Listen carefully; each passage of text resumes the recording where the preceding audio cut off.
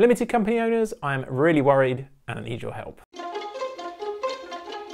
As a business accountant, my team and I spend all day long helping business owners on their journey. And in this particular video, I wanted to recap on something I did a video on probably a year or so ago now, and that's some changes that are coming to Companies House. And I think they're pretty scary for most small businesses out there, particularly if you're in the early stages of your journey, although I think it does apply to anybody who's a small business, regardless of how long they've been going. And that's the fact that you may well have to, under current plans, you're gonna have to, uh, put your profit and loss account online at Companies House. So at the minute what happens is you have to supply your full accounts to the revenue and they're behind closed doors. The revenue can look at them and do all that. But for Companies House, the public facing one that anybody can search, you tend to just put your balance sheet, which is kind of a statement of financial position of the company at a particular point does give some, uh, for the learned eye anyway, it gives some sort of feeling of whether the company's in a good state or not.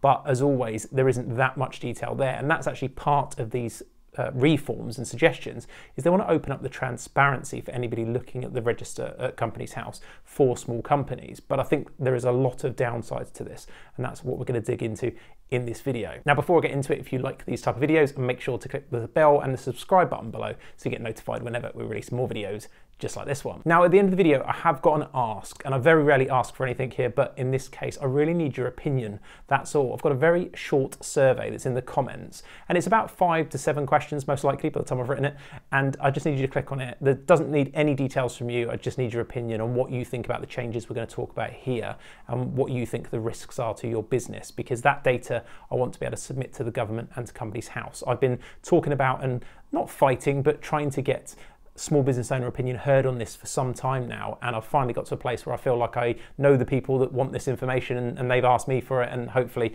I can get some opinion from you guys and present that. So that's my one ask um, and even if you do nothing else after you've heard the, the news, uh, please go to the comments and just click on that and share it with any other business colleagues you've got because my worry is that these changes are going to go on as they already have under the radar and before you'll know it your accountant's going to be turning around to you and saying oh yeah yeah we're doing this and you'll be like what, what, what do you mean? That's just crazy or, or something like that. So uh, let's talk about what those changes are.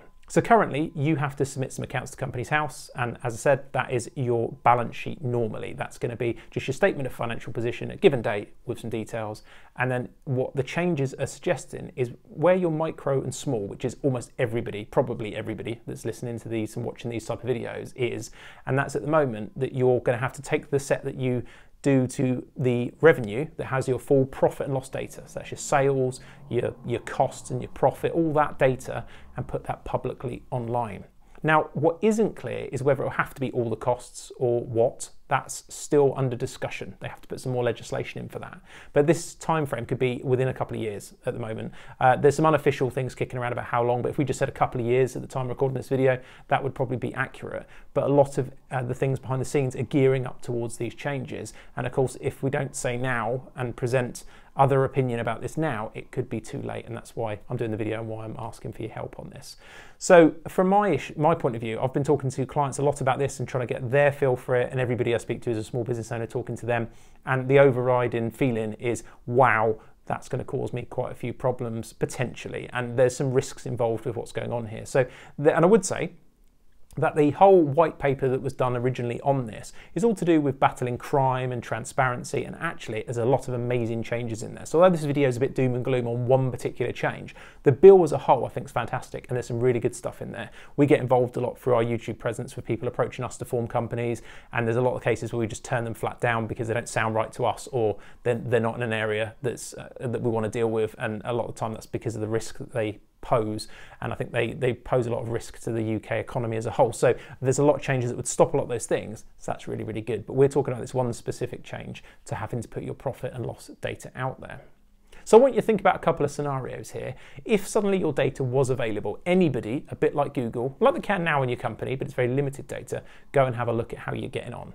But they can look now at turnover And a lot of people make wild assumptions based on these figures. I mean, in our job all day long, we have to explain what financial data is and what it means, and when someone's looking at a profit loss report, what that means. And even with us explaining it, it, it's a long conversation, you know, it's a detailed conversation. We don't get taught this stuff at school. So, how is anybody uh, from the uneducated kind of financial world meant to read this data without actually making assumptions that are probably likely to be incorrect? So, I want to give you a couple of scenarios in this. Just think about a time you've got, don't know, one, two employees, say, and your employees with a cost of living crisis want to think about whether they should be having a pay rise. And you've said look i just can't do it. For all the right reasons i want to pay you loads of money but i just can't at the moment. Bear with me whatever the case may be in this example.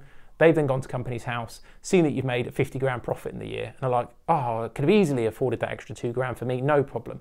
Without knowing might be the only year you've made profit. They don't know that your dividends, which is effectively your pay, are coming out of that. They don't know that you've reinvested a load of it in equipment. They don't know that you are paying down debt. There's all these things that could happen, but somebody reading that data is just going to probably look straight at that profit and loss report because I think that's the bit that most people presume they understand the most and that is a worry to most business owners that I've spoke about.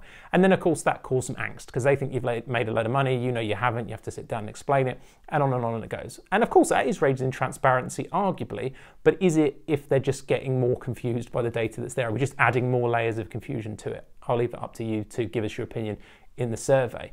That's one kind of scenario that you have that battle. Then you've got the same problem with your customers. Your customers can see your turnover. They can see the margins that you're making. They can see what money you're making on paper. And they're going to be in the same position, most likely uneducated, not always, but most likely uneducated around what that means and how to read that in combination with other factors, or whether they're going to go back and look at the history of the company. Might be the only year you've ever made any profit, all those kind of things. And then your customers, you might find, then give you pushback. These are the kind of risks that I'm really concerned about. That then your yeah your customers say, "Well, look, I can see you making loads of money. Surely you can give me a discount," and you end up in this kind of discussion. Or the other way around, you're a new business looking to deal with customers, and customers choose not to use you because they can see because of the last set of filed accounts, which could be very out of date, could be 20 odd months out of date, says that you only turned over only turned over 80 odd grand last year but maybe you've already done 350 this year, but the data's not on there, and they're like, oh, it's too risky. You're just a little little startup. I don't want to deal with you. You've got that problem as well. So there's a lot of issues about timing and who's seeing the data and when. If you say a more established business and you're looking to tender with uh, a particular big contract and you've put your tender in and they're looking then they can see your margins they can see your turnover they can see how much of a percent of this uh, this contract would be worth to you and i think that gives them some bargaining power that would not otherwise be there. So there's that concern as well but it is mainly for the small the small businesses, I just worry about all this data being available and people misreading it and then having conversations that we don't currently have. And I'm not sure that actually adds to transparency. So that's all there. There's all these these differing things that are there. And I think that's what I want you to think about with this. And then have a look down at the survey and just give your opinion as to whether you think any of these things affect you. And also what might be the other effects. Is there anything else that I'm not talking about? We're just bouncing some stuff off each other here or one way, but hopefully you're thinking about it as we're talking. But if there's other things that you think are risk factors, please do put them in that survey. And then I think the other thing that's really relevant from my point of view as a business accountant is that at the minute, we don't talk about what we talk about getting the figures right, making sure you only pay the right amount of tax, making sure we've got all the tax deductions and claims are allowed in legally and everything like that. What we're not talking about is what persona do we want to show to the public or anybody else? Because the balance sheet, you might make it very rarely you might have a conversation about that in the small business world about, I don't know, depreciation policies or something, or the position of the overall shareholders' funds as it's known, like what's the overall position. But you never have to go to real detail. What worries me now is we'll be in a position where business owners will be really having to think about that and thinking, what is it that I want to show? Are you then getting pressured as an accountant into, oh, well, I need to show a good result, or I can't be showing a bad result? And, and it's giving a lot of angst between the two parties, you know, these kind of things. It's just a conversation that doesn't happen at the moment that I think will come back in, much like public companies, I, I would suggest probably end up having is what's the result we want to show our shareholders? We might be in another position with small business owners where we're having that discussion, and I'm not sure that helps anybody. So that's on top of all of that. So yeah, it just feels like it's adding problems. And in a world of social media, particularly, obviously, as a lover of social media, I think it's a really good thing for business. But again, if people can then, I don't know, you you upset a, a customer, and then the customer's gone and pulled your data, and they're telling everybody that you, your business is awful and that you're going out of business, and look at these figures, or look, these guys are criminals. They charge so much money and uh, deliver nothing. And again, they don't know what they're reading. And th- there's various versions of that. But again, it just adds a dimension that's not there right now, and I'm not sure that we need to.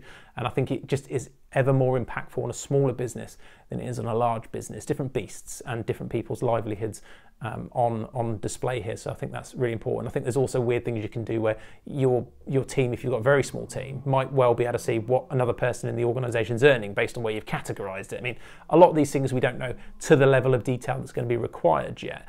But ultimately, even just having the top two lines, the turnover and the profits, is a real concern for me. So my ask is, please do fill in below. You might disagree with me, and that's absolutely fine. It, um, I, am just relaying what I'm having with conversations with our clients and people in the community local to me, and, and that I get online and talk to. So, but yeah, please do let me know both in the comments, but also in that short survey below if you can. And I really look forward to hearing your opinion and just seeing if we're over worrying or whether actually you feel it's a problem. And if it is a problem, I will be presenting this data to anybody that will listen. So please do share this video with anybody you think could support with their opinion.